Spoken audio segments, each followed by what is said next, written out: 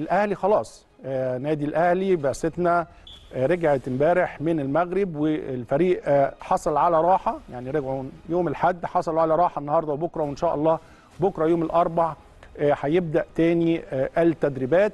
قبل السفر مباشرة إن شاء الله يوم الخميس إلى السودان. حضراتكم عارفين إن شاء الله المباراه هنلاعب الهلال السوداني في دوري أبطال أفريقيا.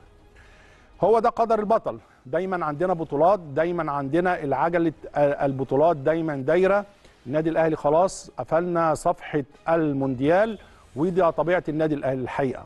بنقفل الصفحة وبنبص لصفحة جديدة والصفحة الجديدة ديت هي اللي إن شاء الله بإذن الله هتأهلنا تاني للمرة التاسعة بإذن الله في تاريخ النادي الأهلي إن إحنا نكون موجودين في كأس العالم للأندية. الحقيقة زي ما بقول عندنا مباريات قوية جدا خلال الفترة اللي جاية. عندنا تحديات كثيرة جدا في فترات يمكن زمنية قليلة. وده يعني زي ما بنتكلم هو ده النادي الأهلي وهو قدر النادي الأهلي. عندنا بطولات على مستوى أفريقيا على مستوى الدوري على مستوى الكاس كلها بطولات يعني النادي الأهلي دايما يعني دايما دايما بيسعى للحصول على هذه البطولات. والبطولة المفضلة أكيد بطولة أفريقيا.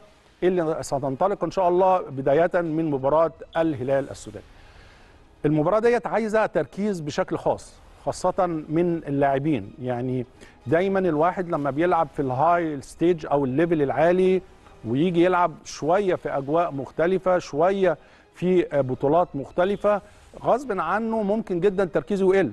وده المطلوب من لعيبة النادي الأهلي خلال الثلاث أربع أيام اللي جايين. كنت بتلعب مع مستويات عالية جدا جدا في كأس العالم للأندية. لكن كمان لازم تفكر إن مباريات دوري الأبطال في أفريقيا هي دي المباريات اللي بتأهلك إنك توصل لهذا الليفل.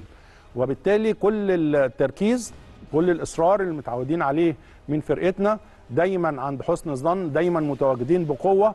وإن شاء الله بإذن الله تكون ضربة البداية في المشوار الأفريقي بإذن الله يعني تكون موفقة.